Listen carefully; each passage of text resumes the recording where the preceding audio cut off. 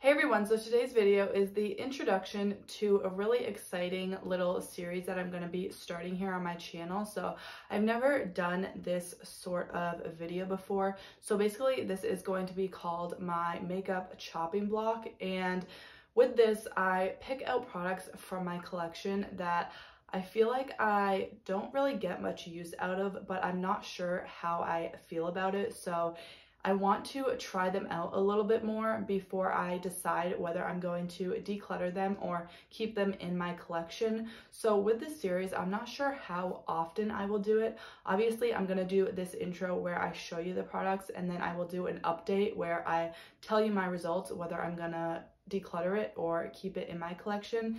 And then after that, I'm not really sure. I guess as I build up products, that I want to test out some more, then I will film another one of these videos. So let's just go ahead and get into the first few products that are going to be up on the chopping block. So the first product is sort of like a primer. This is the Milani Prep and Brighten Rose Face Oil. So I use this as a primer before my makeup since I do have more dry skin. But I bought this probably three or four years ago and I used to use it pretty consistently when my skin was really really dry in the winter and I didn't have good skincare or any good hydrating primers. So this did work for me three years ago but I haven't used it probably in at least two years. So I want to try this out some more and I may end up keeping it or decluttering it. Obviously, that's the whole point of the series. So I'm just not really sure how I feel about this anymore and if it will actually help with my skin or not. The next two products are actually foundations and both of these I'm just not really sure about. The first one is the Flower Beauty Light Illusion Foundation and I know a lot of people love this this, for some reason, just didn't really work on my skin. Obviously, it's a more light coverage foundation and the way they describe it sounds like it would be my type of foundation, but for me, I feel like it kind of stuck to my dry patches, but it still looks okay on the skin and I haven't really used this much, so I do want to try this out a little bit more before I decide to actually declutter it. So I prefer to pan products over decluttering. Obviously, I don't just want to throw out a bunch of makeup just to get my makeup inventory numbers down. But if I really don't like a product, that's when I will end up decluttering it because it's not fun for me to use anymore. So I do also like the fact that this has SPF in it, but I'm gonna try this out some more and then we'll see if I can make it work a little bit better for my skin. And then the other foundation is from Wet n Wild. It's the Photo Focus foundation. And this is pretty light for my skin tone, but I can make it work if I just use bronzer. So the reason I didn't like this, probably because I used too much of it. I did get this a few years ago and I haven't really used it probably in a couple years, which sounds really bad, but I think I just sort of stayed away from it because when I first used it, it was just kind of cakey, but that might have been because I applied too much. And I feel like this is very, very full coverage and that's just not the type of foundation that I go for anymore. I like a more light coverage foundation, so I will try this out some more and see if I can make it work for my skin and if I like the way it looks on my skin, even though it is a bit more full coverage. Now I have some cheek products to talk about. So the first one is the Essence Pure Nude Highlighter. And with this one, I feel like I have enough sort of subtle highlighters in my collection. I also have the Laura Mercier matte baked radiance highlighter whatever that's called and that is pretty similar to this. It's basically just a really natural highlight. So i feel like i don't need both of them in my collection so i'm gonna try this out a little bit more and see how the laura mercier one compares because obviously i'm gonna keep the laura mercier one over this one but I also feel like I have a lot of finishing powders in my collection and I feel like this is subtle enough to where you could use it as a finishing powder and I just have enough of those like I said so I feel like I may want to declutter this. I just want to try out a little bit more. And then I have another highlighter here. This one is from Becca. It's in the shade Rose Gold and it's just a little mini, but I feel like this is pretty dark for my skin tone. It's not too dark and I feel like when I apply it, I can maybe get away with it, but I also feel like it's on the verge of being too dark. So I have only used this a few times, so I just want to try it out some more and see if it really is too dark for my skin, especially in the winter when I'm more pale. So I may end up decluttering this just if it's too dark and it makes that shadow on the top of my cheekbones. So I just need to try this out a little bit more.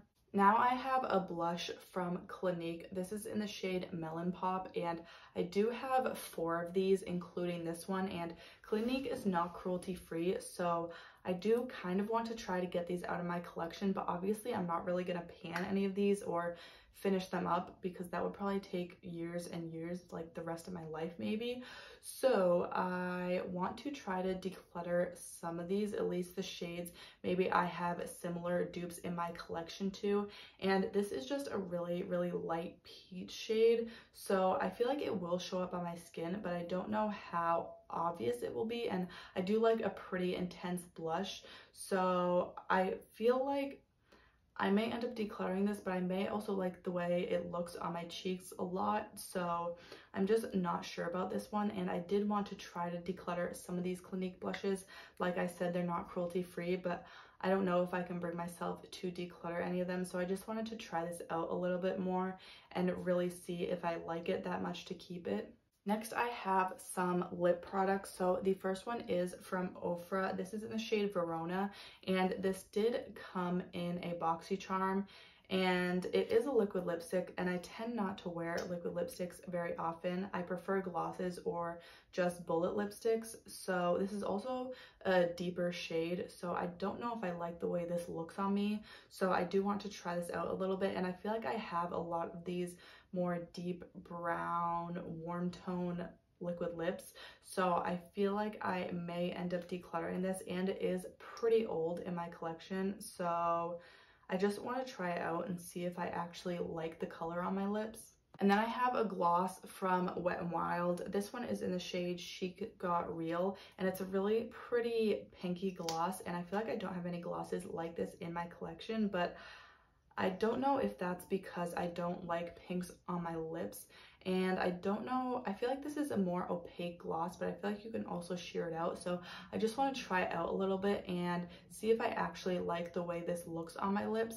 Also, Wet n Wild is not cruelty free, so that's kind of making me want to declutter it even more. But if I do really like it, obviously I'm not going to declutter it just to declutter it.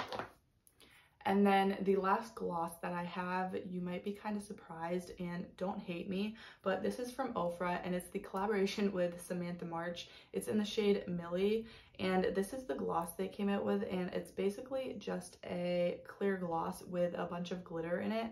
And when I got this, I put it on my lips just with nothing underneath, just on my bare lips. And you can feel the grittiness from the glitter in it. So I really didn't like the way this felt on my lips when I first applied it, but I haven't tried it with a lipstick or with anything underneath.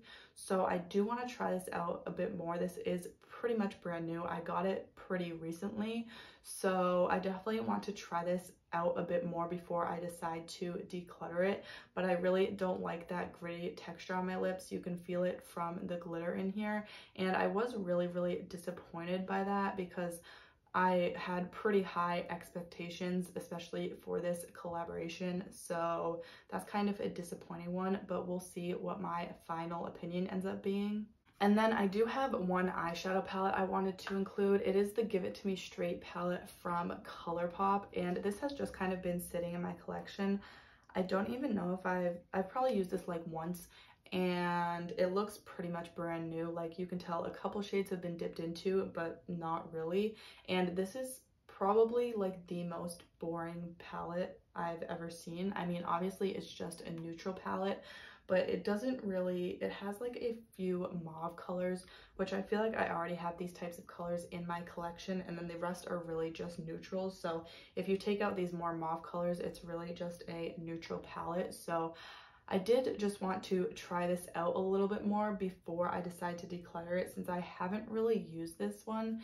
And this shade right here is one of those mattes just with glitter in it. It's not really a metallic or a matte shade. It's somewhere in between. So I don't really like those shades, but I'm gonna try this out and see if I really end up liking it. My thought is that I am gonna declutter it and with a lot of these products, I feel like I may end up decluttering them. Obviously, I basically just want to try them out a little bit more before I make my final decision to declutter them. So with most of these products, I am leaning on the declutter side already, but we'll see what my final results end up being. I'll probably do an update in about a month or two, so stay tuned for that. And if you did enjoy this video, make sure to give it a thumbs up. I do post new videos about three times a week, so if you want to see more from me, make sure to subscribe and don't forget to hit that bell icon to get notified every time I post.